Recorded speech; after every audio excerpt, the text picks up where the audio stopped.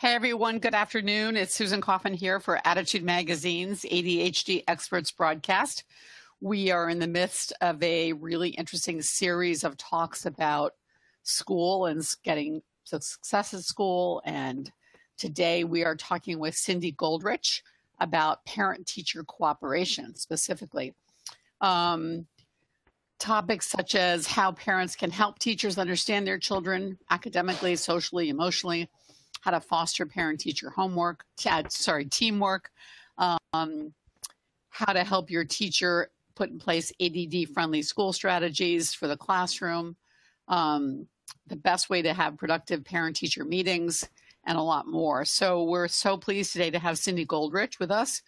Um, she is a mental health counselor and a coach and the author of um, Eight Keys for Parenting Children with ADHD, a terrific book recognized by by everyone for as providing parents, educators, and therapists with lots of easy ch- tips for addressing challenging kids.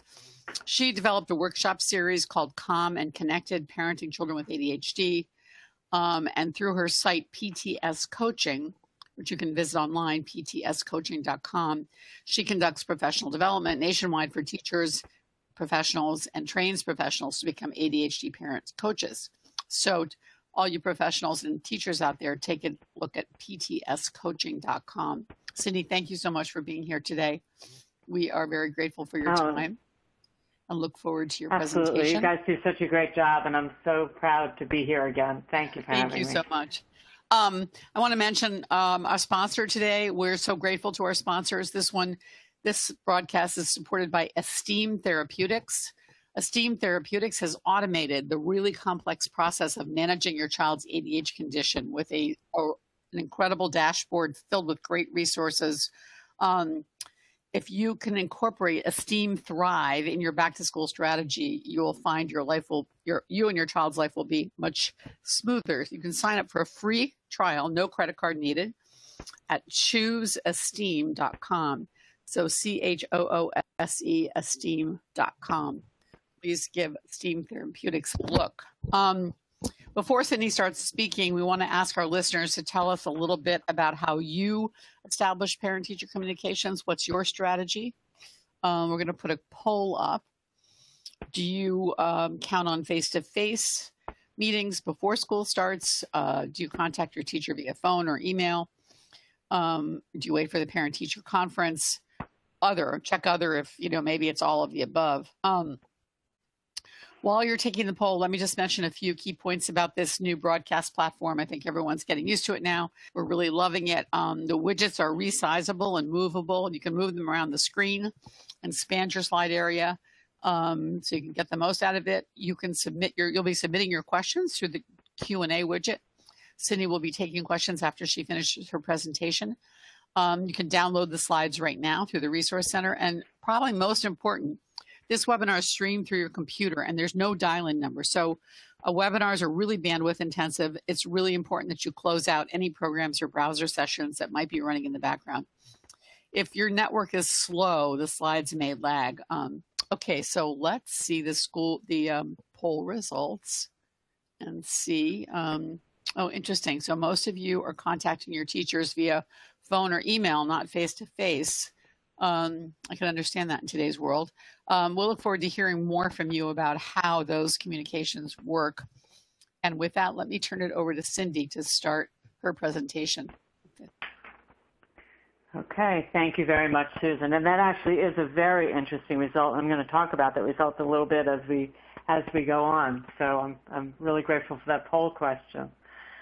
I want to start by just saying let's all breathe because I know at this point in the year um, those of you listening to this live, it's it's September, so some of your kids have been in school for just a few weeks. Some of you have been in school for over a month. It starts to heat up. So the first thing is finding balance. Parents really need to be able to know how to support and advocate for their child, but at the same time understand what's going on and build that new relationship with a new teacher, sometimes even in a new school setting. So being able to speak to your teacher and support your child is not an easy feat, and we're going to break that down step by step and see what that can look like.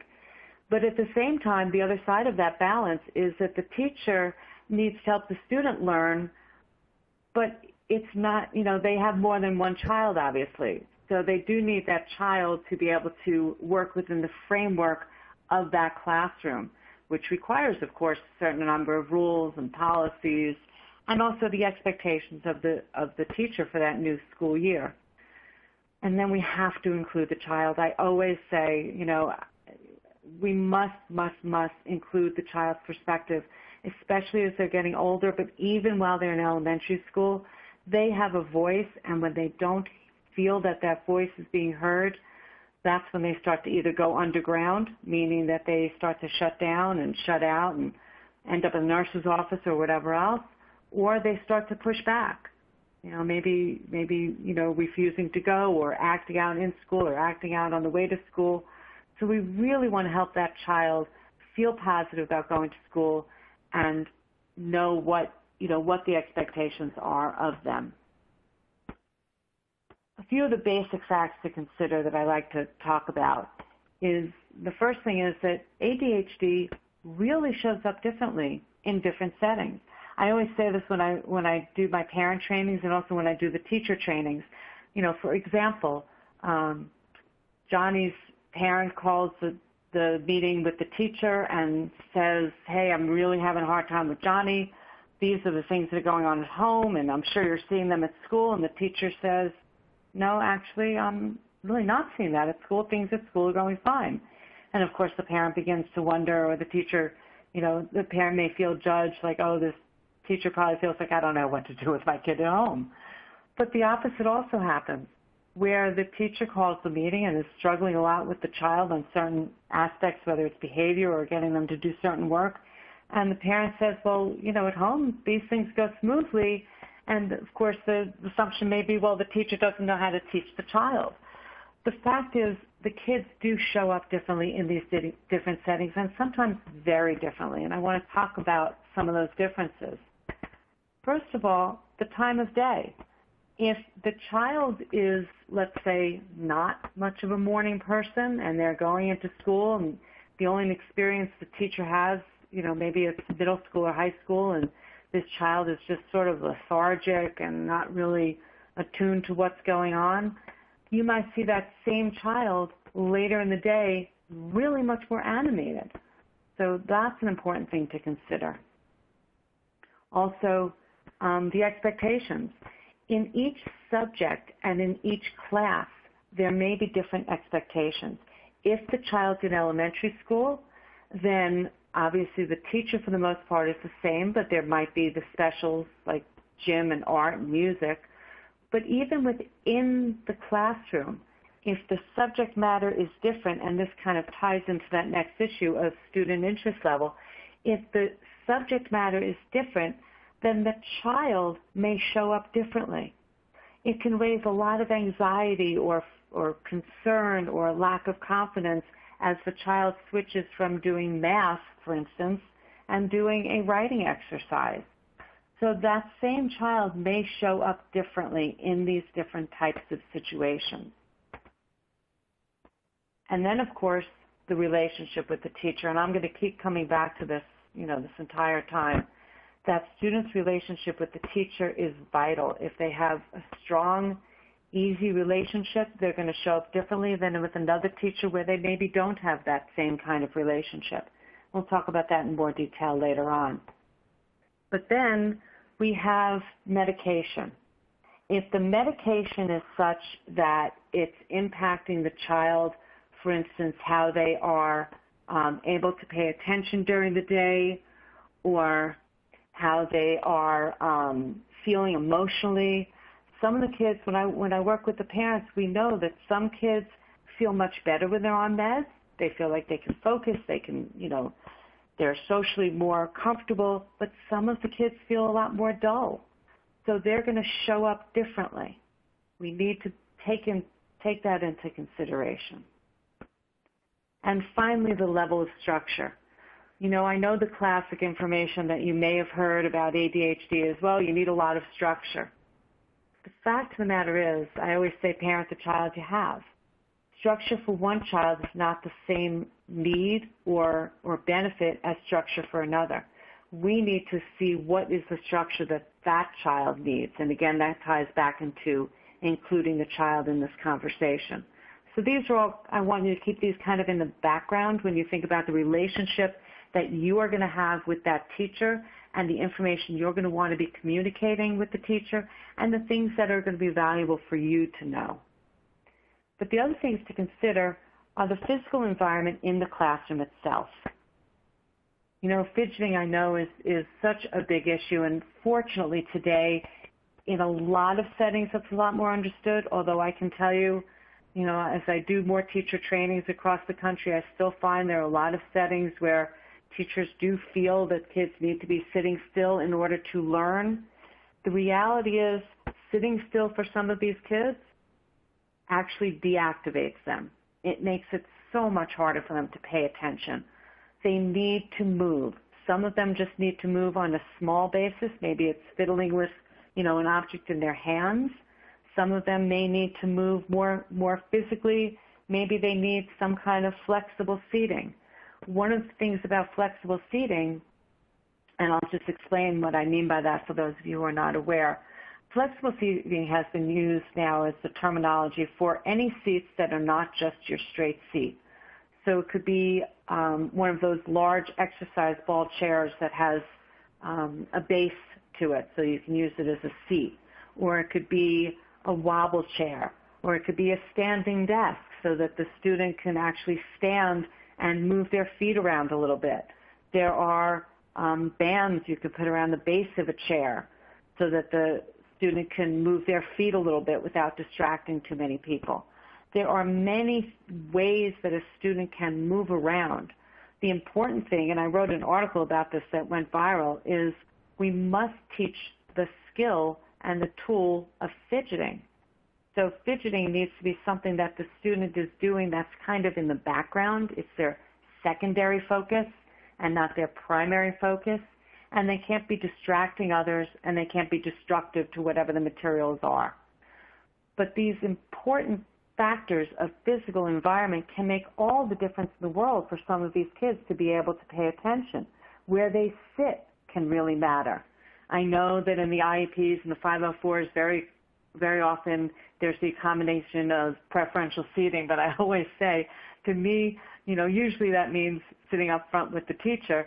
To me, that seat's very often the kiss of death because that kid's going to spend their time turning around and looking and seeing what's going on behind them, right? So I always prefer let's talk to the student about where they think they should see, sit, and keep in mind that our goal here is to raise their own awareness about what do they need to do to pay attention in class. So if Johnny says, well, I think the best place I should sit is the back of the room or with all my friends, then I might say, okay, well, that's fine. Let's talk about how we're going to know that's working. And then Johnny, of course, has to be able to express, well, I'm going to be able to pay attention in class. I'll be able to answer the teacher's questions. I won't be distracting others, et cetera, et cetera and then we're going to see if that seat really works for him. Because I want Johnny to be able to know how he needs to function in the world. Our goal, both as parents and educators, is to help kids develop their self-regulation skills. So we want Johnny to know that when he goes off, whether it's college or the workplace, we want him to know, well, where is the best place for me to position myself so that I am really paying attention and participating as I need to. So the fidgeting and the movement are very important. The breaks. Sometimes kids really need a break, and it may not be when the teacher is planning a break, but we need to consider that as well. A break doesn't have to be, hey, go take five minutes and come back, you know, when you're ready. A break can simply mean changing the learning activity. So that can mean, okay, now why don't you go stand up while you're doing this same activity? That actually could be a break. Breaks actually boost the chemicals in the brain that are needed to construct memory. So these breaks become vital, and the more we can help the teacher understand our child's nuances and help our child read their own signals about when are they needing some kind of a change rather than, again, just shutting down or acting out, we're going to help this child advocate for themselves. And going right along with that is each child, if they do tend to have a lot of breakdowns and a lot of emotional, you know, challenges, they need a safe place and they need a safe person. There's a lot we can talk about with that. If people have questions as we get to the Q&A, I'm happy to talk about that. But the child needs to feel like if they are, for whatever reason, not able to sit in that physical space and they know that they've reached their melting point, there needs to be a pre-planned way that this child can handle themselves so that it's not always in the negative punitive way. The next thing I want to talk about is the emotional the emotional manners. And as I started to say, that the kid needs to feel safe. One of the things we know is that if a child doesn't feel safe, there's I want you to all kind of make a, a circle with your hands. And I want you to think of that as the cognitive space your child has to do, let's say, a math problem. If they are feeling stress or they are feeling anxious or they are just feeling lack of confidence, I want you to take your hands and I want you to make that circle smaller and smaller and smaller. And that becomes the space that that child has to do that problem. So if that child is not feeling safe in that moment, they're not able to attend. And that again goes back to why this is so important that the child can feel comfortable being who they are. And of course, going along right with that is the student must feel connected to the teacher. You know, I was doing a, um, a training this summer at a prestigious private school, and we were talking about what do you do when a kid has a total meltdown? How do you help the kid, but how do you, as the teacher, manage the whole classroom at the same time? And the teacher said, should I, you know, the kid's under the table and he's just really having a hard time and you know, it's, it seems like he's getting agitated and I have to think about the other students in the class and who should I pay attention to? What should I do? Should I get those kids out of the class or should I pay attention to this kid or what should I do? And I said, first we have to talk about what your relationship is with that child. And then another teacher raised their hand and said, well, why wouldn't the kid trust the teacher as the teacher goes to approach the child? And many of the other teachers in the room sort of you could see they sort of gasped or moved around, and I asked the question, how many of you, and I'm going to ask this to you out there, how many of you have had a teacher in your life who, for whatever the reason, you did not feel safe and comfortable being yourself? So that's a very important thing to consider. One of the things we talked about is that if the child has that relationship with that teacher, then maybe as that teacher goes under that table and approaches the child, the child can start to feel comforted. But if that teacher, if that student does not feel that way, then that may agitate the situation further. So, but the other thing is that the student has to feel that they can be who they are. And I always talk about that the students cannot feel like square pegs in round holes. They must be able to know themselves enough and if they need to fidget, if they need to move, you know, advocacy is a developmental skill. It can't be an expectation. Just because a child's in sixth grade doesn't mean that they feel comfortable going up to this new teacher and saying, hey, you know what, I do better when I sit over here. I do better when I, you know, whatever that is. So we want to help that student know how to advocate for themselves. Which brings us back to you parents. You have to know your child. I would recommend that through the years you keep a basic log, literally for each year your child's in school. One of the things you can do is have a page that talks about what are some of the things that triggers your child? What are some of the predictable challenges? You know, a lot of times when I work with parents, they say, oh, my kid always, or oh, my kid never. Well, I say, well, that's great. That shows me there's a pattern of behavior. Now we can be detectives. Now we can figure out what triggers these things and what are some of the predictable things that we can now plan some problems around, you know, some solutions around. For instance, how does your kid respond when the teacher says, okay, we're going to do a project? Some kids are really excited about that.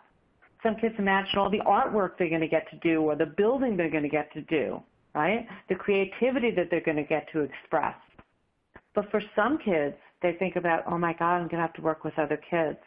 I'm not so good in a group. I get lost in a group. Who am I going to be with? Who's going to want to be with me? We want to really make sure we know our kid and how they're going to react to these situations. Because um, some of these situations, they are going to feel more confident, less confident, more comfortable, less confident, uh, less comfortable. And then we want to write down, you know, you've had, by the time your kids in, let's say, fifth grade, you've had a few years experience with different teachers in different settings. What's worked well in the past? What has the teacher done that has really helped your child, right? Um, maybe the teacher let your child be the be the one that um, always got to stand up and hand out the papers, or was the one that brought the log down to the office so that they had that built-in break. I want you to think about what really worked well, and also who in the school has your child connect with. If your child's in fifth grade and your child had a wonderful relationship with that third grade teacher, remember I was talking about that the child needs to have a safe place?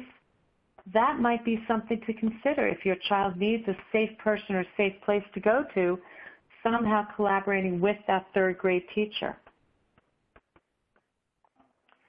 So this, of course, brings us to what's your child's perspective? What are your child's concerns? It's a great thing to talk to your child about, not, you know, while there's a meltdown or anything, but at a, you know, maybe on a Sunday afternoon if you're going for a nice walk or something. Just what are your kids' concerns about school? what are the things that make them, you know, a little more hesitant, a little more nervous?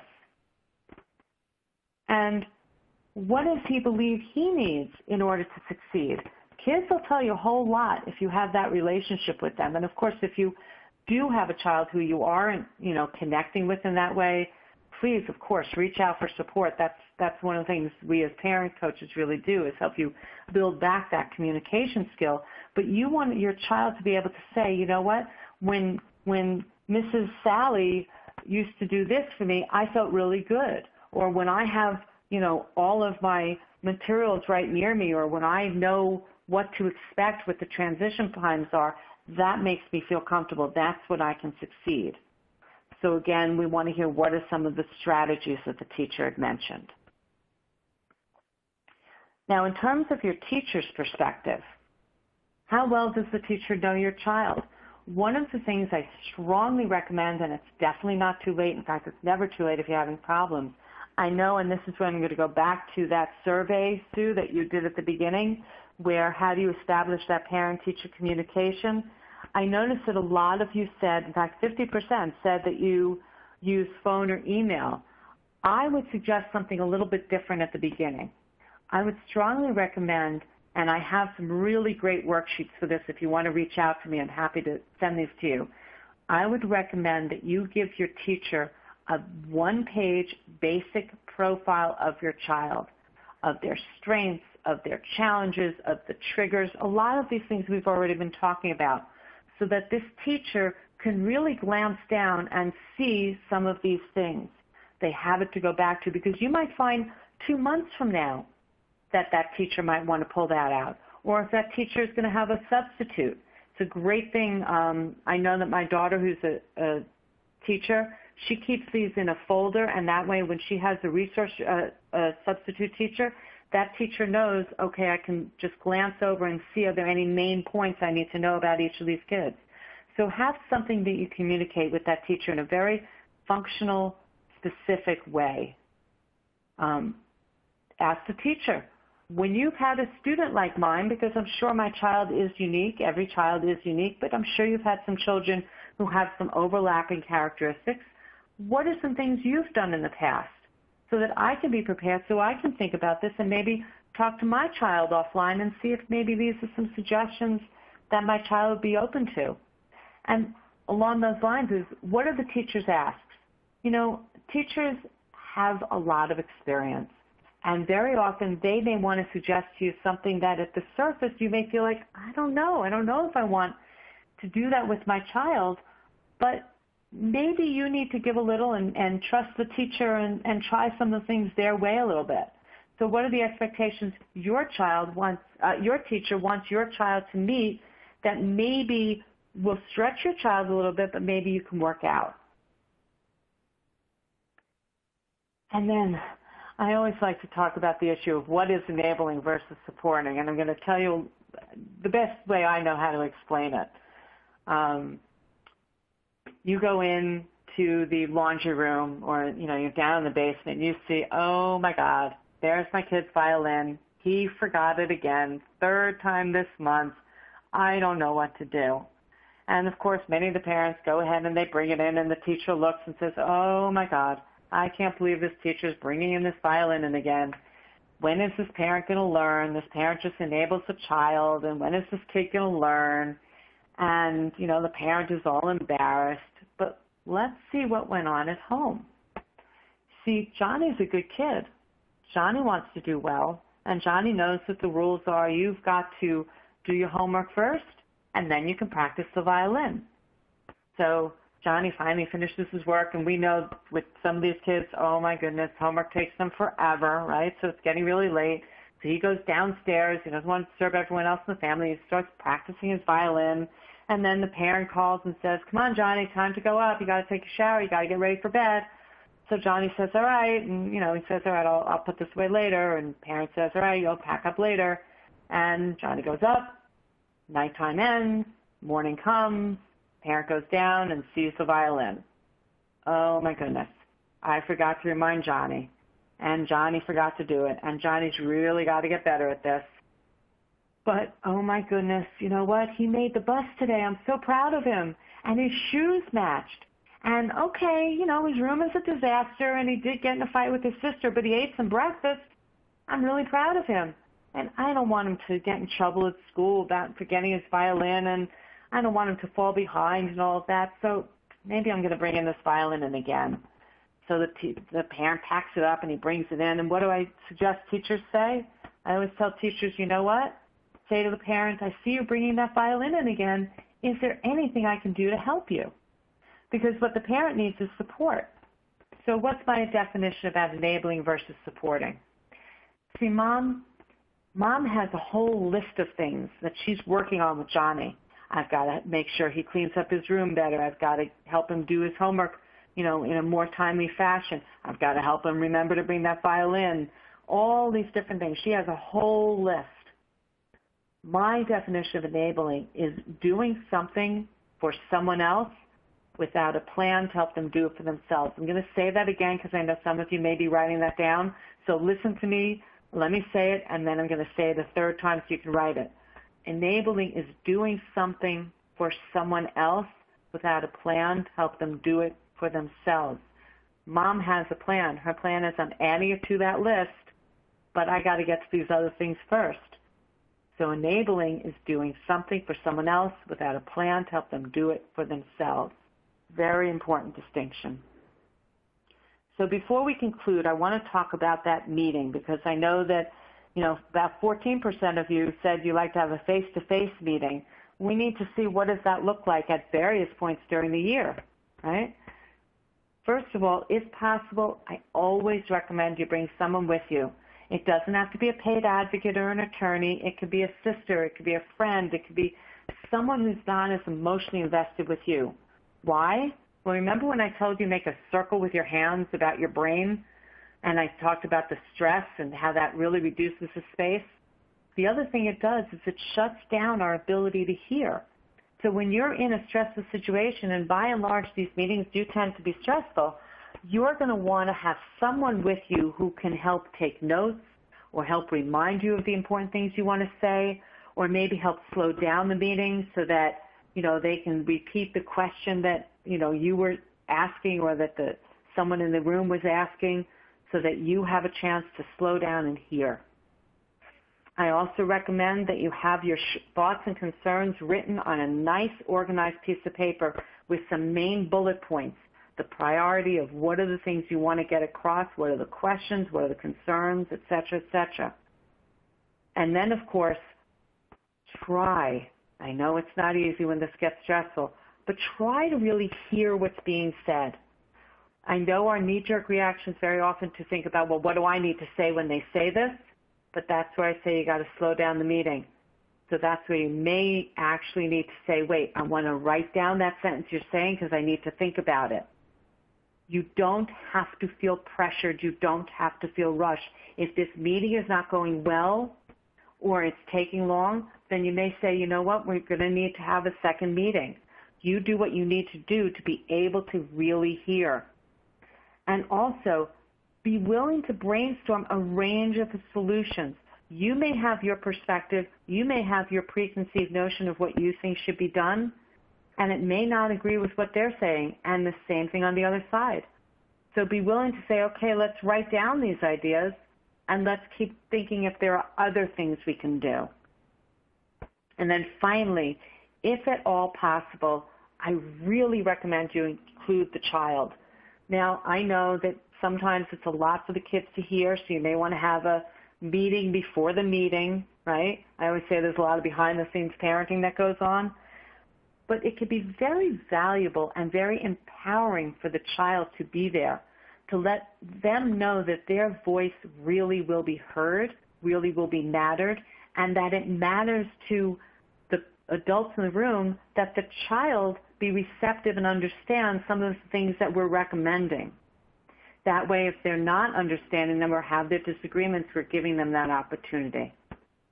And if at the end of the day you've had this meeting and there has been no progress, there's, there's a few things I want you to do. First of all, acknowledge it. Be open and express that, you know what, guys, we're all coming here with the best of intentions and we're not able to agree. Let's agree to disagree and talk about what's going to happen next. And also, if things are contentious with that teacher, then say, you know what, I think we need to bring someone else in here who else can we bring in so we can work out this situation rather than beating your heads against the wall? And acknowledge, you know, this is hard. This is not, you know, you and I might be really disagreeing about what's going on, but this isn't personal. I respect you and your position. Guys, these teachers work really, really hard.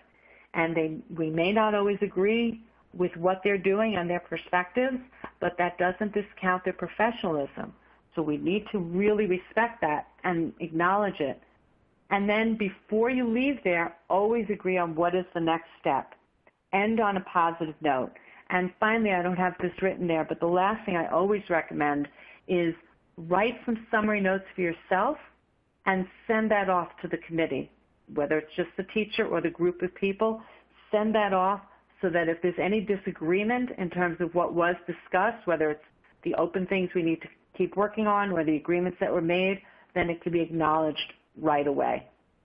Okay? Um, at this point, I think I'm going to turn this over you, to you, Sue. I know there are probably a bunch of questions. I'm happy to Thank take them. Um, thank you, everyone. Um, please post your questions at this point for Cindy to uh, to address. Um, so let's see. We have some interesting questions now. Can you talk some more about the strengths and weakness handout, Cindy, that um, you would recommend developing for your child? Sure. And if anyone would like to have that handout, I'm happy to send it to you. Just email me at info at ptscoaching.com, but I'll Great. explain it. Um, Okay. For the younger kids, it really just looks like a bunch of um, like rectangles, so it's nice, easy layout where it says my child's strengths, my child's interests, my child's challenges, strategies that have worked, the best way to communicate with me, you know, the time of day, whether it's email or phone, you know, how to reach out to me. I think there's one or two, in fact, I know there's one or two other things on there, but just so that the parent, the, the teacher can really have something that they can glance at. For the older students, it may be more of a list with bullet points, um, and I have that. And I also have um, a letter that you may want to write at any point during the year, whether it's um, you know right before Thanksgiving or the winter recess or something, where you're feeling like you want to reset. You're feeling like, like you want to kind of say, okay, this is what's going on, this is where we're stuck, these are the things we need, some nice bulleted issues. Okay. Um, Cindy, a number of people didn't didn't grasp your email address. Um, can you repeat that again? Sure. Info, I-N-F-O, at PTS. That's my website. Stands for Pathways to Success. PTScoaching.com. And by the way, parents, the reason my business is called PTS Coaching is because I think many kids have many different pathways. Their path is not going to look straight. It's going to be all over the place, and some of them, their path is going to take them a little longer than you would anticipate. But don't lose hope and don't don't get too stressed about that. These are great kids. You know, I'm sure there are many webinars you've heard. I know I've done some on executive function skills where we really acknowledge that sometimes these kids just take a little longer to develop some of these skills. Um, great. So let's see. I've got some great some great questions. So here's um, Isabel, whose child is in high school. Um, I understand that I used to meet with every teacher, but now my child's in high school. How should I handle? Should I try to meet with all his teachers, or should I? Is this the time to to allow him to learn to to to address the teachers himself? That's a really great question. Um, I'm going to always go back to parent the child you have, which is my way of saying it really depends on your child. If you have a child who um, really is, you know, very good at advocating for themselves and really wants to be taking that role, then you may empower them to, you know, talk about talk with your child about which of the teachers you feel comfortable advocating with. What are the things you want your teachers to know? Are you, you know, how can you communicate those things? Because especially if they're in high school, if they're going to be going on to college, they're going to have to advocate with their professors. So you do want them to start having that experience of advocating for themselves. But we don't want them to be at a loss if they're not ready. So that's where we may want to really be able to step in. And that transitional period of having the student in the meeting with the teacher and you, and you can prep your child and say, hey, you know what, kiddo? I want you to take a bigger role. You want to take a bigger role. The teachers are used to me being there. I'm used to being there. I'll take the back seat, but I'll be there if you need me. So maybe you can have them, you know, mm-hmm. have those meetings together.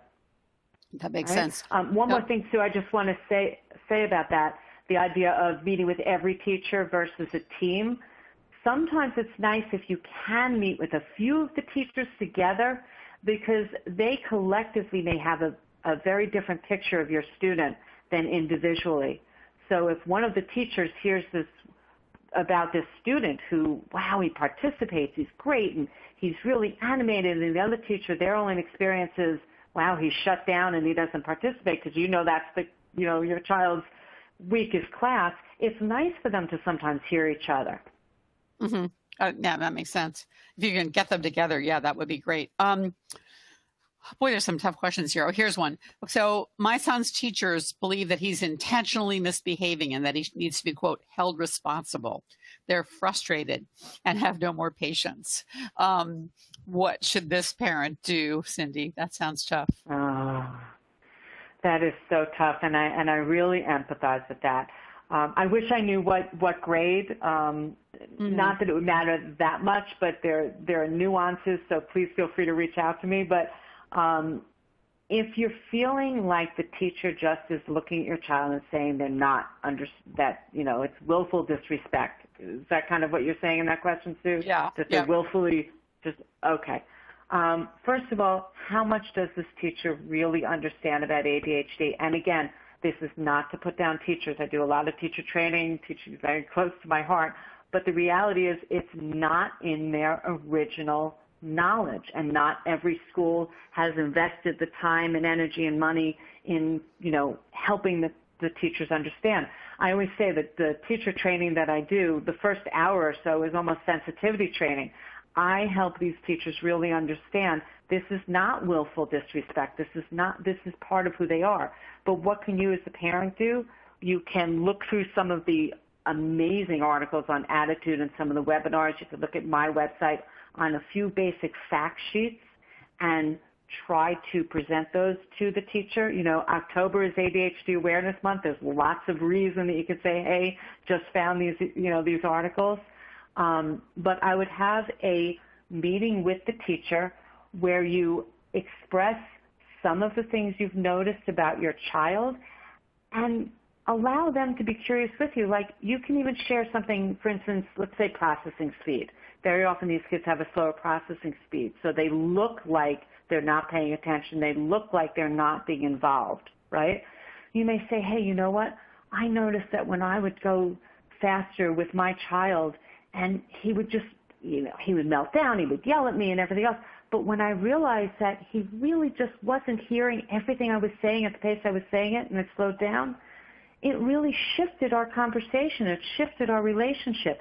I wonder if you can tell me, teacher, what are some of the situations where you're finding that my child seems like they're being difficult or defiant or shut down? And of course, if the teacher says, well, all the time, then you're going to want to kind of drill down a little bit. Okay, we need more information, and that's where we can really work closely.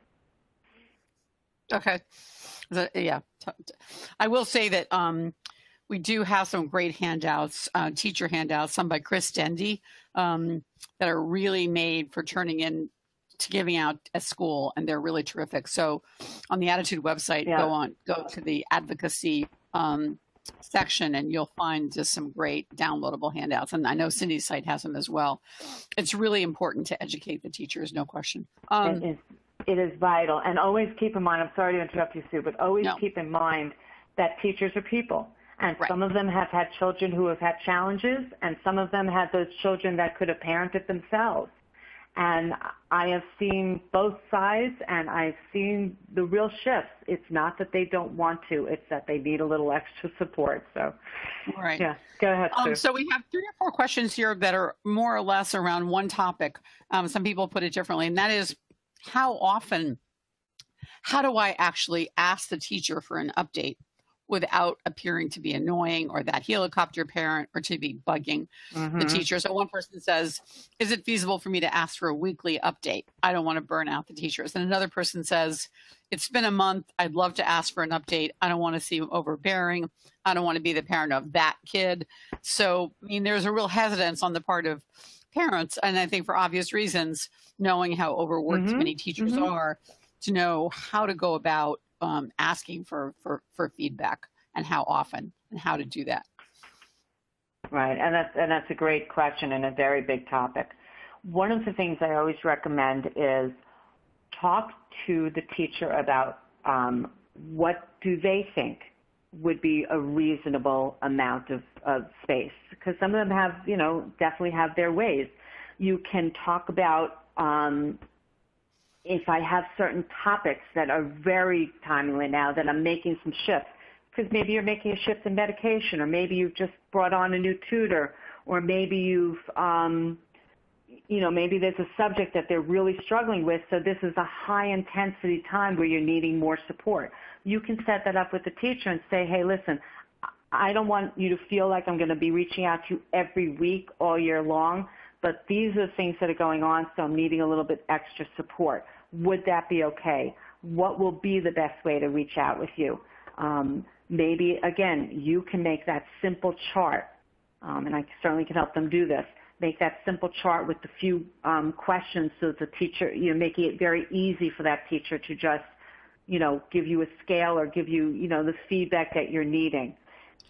Um, um you know, there's also that great, yeah. those great daily report card um, and, and, weekly report card structures where the teacher can just check off. So, one person here, Lucinda, says, I met with my son's fourth, fifth grade teacher at the start of the year to discuss ADHD. And, and since then, the teacher's been using a check system, check marks when my son does well or not well, and sending that back to me. So, um, there are mm-hmm. some feedback forms that might be useful that don't require the teacher to do a huge amount right. of work. Right. Right. Exactly. Yeah. And, and the yeah. reason I suggest making your own is because, again, your concerns may shift as the weeks go on. Maybe you'd rather ask, you know, just about certain behaviors or just about certain um, concepts. Is he getting those or organizational things so that you're shifting the focus on where you're needing it and being receptive to what the teacher is needing as well. Mm-hmm. So right. that collaborative approach on, on what do you want them to be. Right.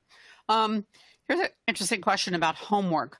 Um, this this writer feels that her child is is just not able to do this much homework. He's doing hours every night and hours on the weekend and still not finishing it. Um, how should she handle that with her with the school? Okay. Oh, that big homework issue. And again, I don't know I what know. grade we're talking about, so that's that's hard. I would encourage, you know, when parents write their questions if you can, but let's be generic with that to the best that we can you must speak with the teacher about what is the expectation about how much time my child should be spending on homework. Teachers sometimes are unaware of how long your child is actually spending. So that's the first thing. The second thing is I would keep a log of how long your child is spending on each subject independently.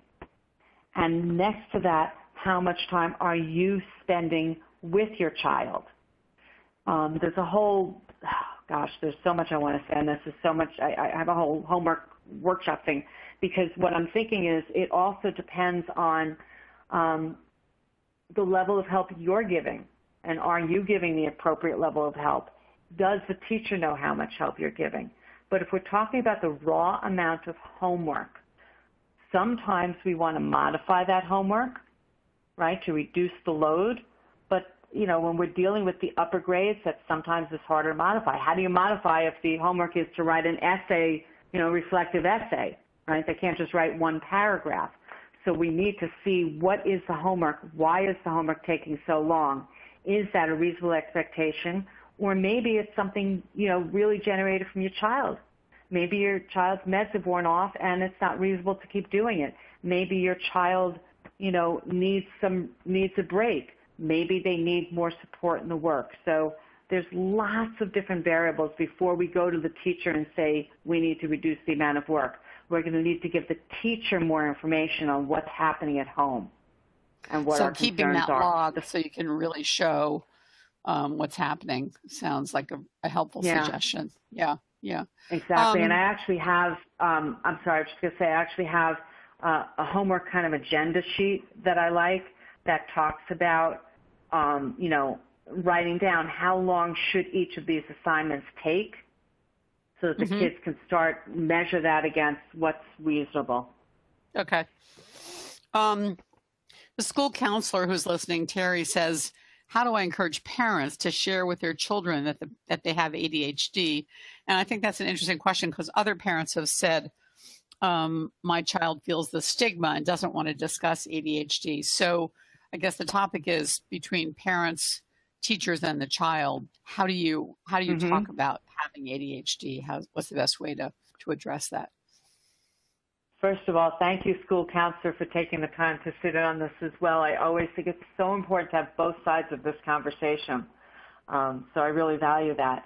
In terms of answering, though, for the counselor, um, my recommendation is this when you say to a parent, oh, you know, Johnny has a hard time sitting still, or Johnny, you know, is, is doesn't raise his hand, or Johnny's not doing his work as, as he should, understand that the parent only knows that child in the context of that family. That child may be doing so much better than their other children that they say, oh, you know, he's doing fine, that's no big deal. Or that child, you know, the other children may be, you know, these, these very easygoing, good students, and the child, you know, for this parent, that's so out of whack. So they're used to that. I always tell the, the counselors and the teachers, speak in terms of the developmental norms. By third grade, this is what we notice about most children. This is what I'm noticing about your child. This is what they're doing. So that you're, you're able to get that. You also want to have the observation of multiple teachers whether if it's an elementary school, you still want to have the observation of the gym teacher, the art teacher, you know, the various different settings so that you can give the parent the range of, of observations that you've had. Mm-hmm. I hope that, okay. that answered some of that. Right. Um, there are a couple of questions about how to handle children who have really big meltdowns in class um, emotional uh, outbursts or discipline. I'm, I'm mm-hmm. not sure what they're looking, what the, the questioners are looking for, but I guess the feedback from school is is their child is having real behavior and meltdowns. How should they handle that? Right. Right. And that this goes to what I was talking about at the very beginning about helping the kid feel safe. If you have a child who has meltdowns, so it's very important to have a pre-planned escape venue. Now, escape could be within the classroom, right? Maybe it's just a quiet corner in the classroom where, um, you know, and, and it could be for all kids that need it, but obviously this kid may use it more often. We're in that corner. You've got um, maybe some favorite fidget toys, maybe some drawing, making color, or or um, putting on a headset to just kind of drown out the outside noise, or you know whatever it is. They should have a pre-planned kind of a list of things I could do to calm down. Maybe it's a place they're going to go and they could do some deep breathing, or some of the things that have been discussed in advance that will help that child. Mm-hmm. If the child would do better by walking out of the classroom, there needs to be a plan on where is this child going, how are we knowing that that child is getting there safely, how do we know, you know, do we need someone from an office to come pick that child up? Is there someone, you know, is there an aide in the class that can bring this child to that place? but it needs to be done in such a way that the child does not feel punished or ostracized or kicked out. I know everyone cares and wants to, you know, do the right thing, but there's language we can use with that child in advance so that kid knows, hey, we're helping you. We're we're gonna, you know, you know that this is where you're going. So it needs to be planned out in advance. Very important. And one of the things um, that you can do is really I'm not big on reward and and, and punishment programs. Believe me, I, a lot of the behavior mod programs, you know, I, I think need some overhauls. But one of the things you can do is if you have a child who has a meltdown and you, can help them start to recognize before they're actually melting down so that they they give the signal to the teacher, hey, I need to, you know, go out, whether it's for a glass of water so I can come back or go to that separate space if they start to use that, then you can acknowledge that with a, a small reward, just acknowledging the fact that, hey, you took care of yourself in a positive way. That's great. Right? Okay. And so. Okay, great. Um, a teacher here um, asking, how can I make, this is a wonderful question, how can I make sure a student feels safe with me? Are there any specific things I can do to make sure I have a strong connection with my student? Absolutely. I love that question. Thank you for that. Um, number one, eye contact. Number two, use the child's name. People feel so valued when we use their name. Number three, if there's a cultural difference, or even just a difference because you guys are just very different people, ask the kid, and it could be whether it's a homework assignment or I always suggest do this in the whole classroom. Could you write down, you know, 10 things that you wish I knew about you, right? Whether it's some of your interests or some of your, mm-hmm. you know, things you're proud of or whatever else. Something so that you have a beginning of a relationship with that child that you have some things you can connect on, right? Ask them, you know, whether it's their favorite sport team, if they're an athletic kid or, you know, music or art or just some of the things, just those casual conversations.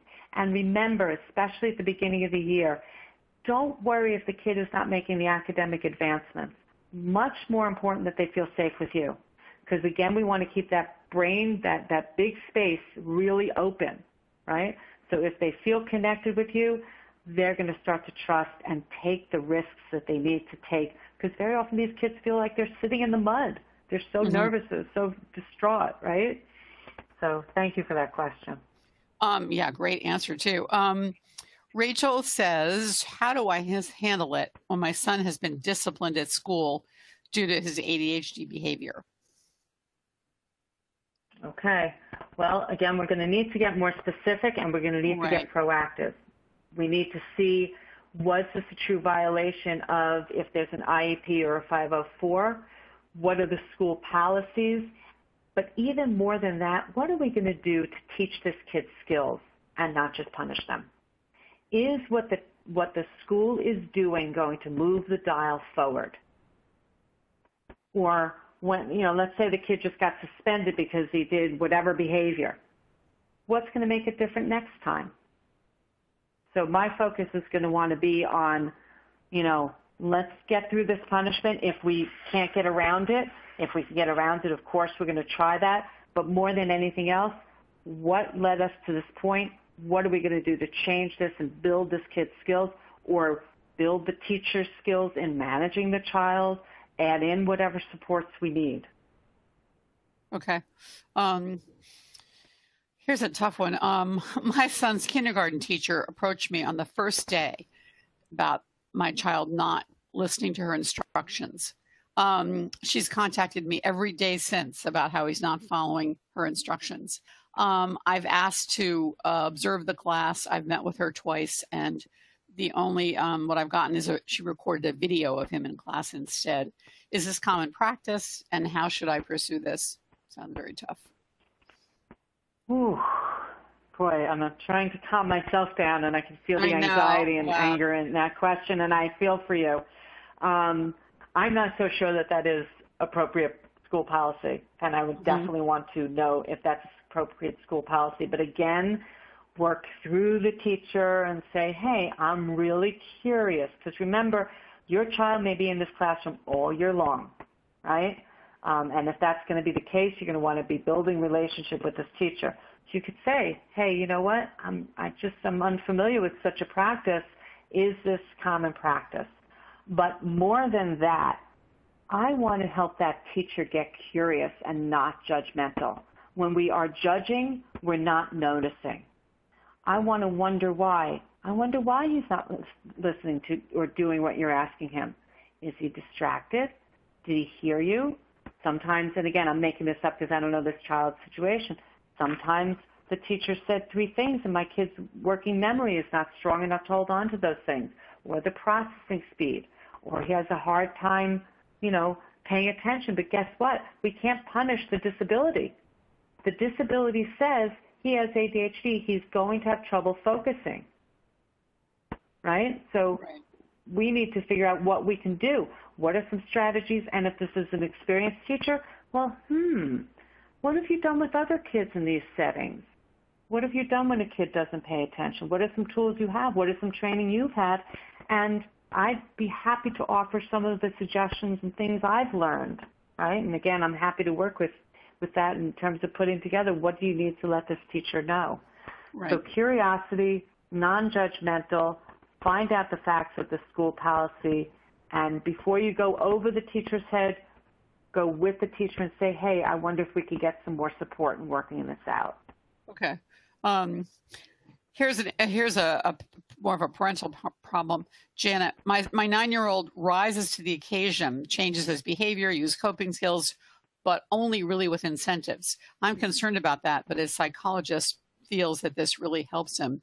What do you what do you think? Is this, you know, do we we tend to increase um, what he earns for to increasingly large incentives. So, you know, we're her, she as a parent is concerned about the way this is going on the incentive front. Yeah, well, I I echo her concern. As I said before, I do not in my parenting, I do not teach rewards and punishments. I do not teach incentive programs. There mm-hmm. are specific times when small specific incentives can be helpful. But by and large, that's not how we're going to build skills. And I think the parent intuitively is recognizing that. I mean, I've got teen, parents of teenagers who, when they come to me, they say, "What am I supposed to do? Offer my kid a car? You know, a hundred dollars if he takes out the garbage? I mean, I don't know where to go with this, right? If that's the mentality. But the other thing you have to realize is that with rewards and punishments, they're not developing that internal motivation. Mm-hmm. Right? I mean, if you're offered a reward for reading three books, why read a fourth book? There's no reason to. So right? you're you're, so, you're, on this parent's side. Maybe she maybe a new psychologist would be in order. Um, yeah, it, it, um, it might be. But but the other thing, wait, one thing I just want to say real quick. One of the things that we know about the neurobiology of ADHD is that the reward and motivation centers of the brain are less activated. I'm going to say that again. So if you're writing this down, I'll say this slowly. In ADHD, the reward and motivation centers of the brain are less active. That is why those reward and punishment programs are not going to hit unless the kid is intrinsically motivated. Right. right? Okay. Well, um, we are running out of time. I have a feeling that there's lots more we could say. Cindy, your answers are, you, you really understand what's happening for, for our folks. Um, but thank you so much for your time today. And I want to tell everyone that um, we are having a special session with Leslie Josel just on homework next week. So those of you who didn't, whose questions we didn't get to about how to turn homework in, how to all, all of the homework issues will be addressed by Leslie Josel, who's our organizing coach next week. So that's on Tuesday at 1 p.m. Uh, Cindy, thank you so much, and thanks to, to all of you for um, joining us today the webinar audio will be up for replay on our site later today. And um, I hope you'll check in and listen to it again. There was a lot to, to take away. And Cindy, thanks always for, for your work. Everyone, check out Cindy's website and her um, her book, Ways for Parenting Kids with ADHD. Thanks, everybody. Thank you.